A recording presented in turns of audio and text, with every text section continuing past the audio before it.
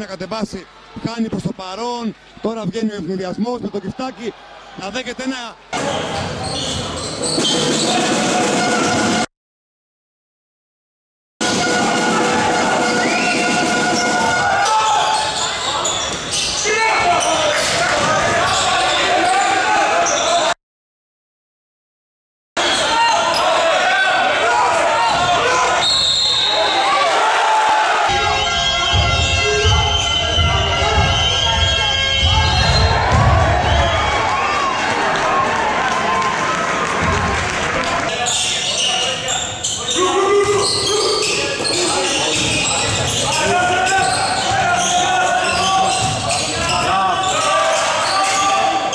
Oh.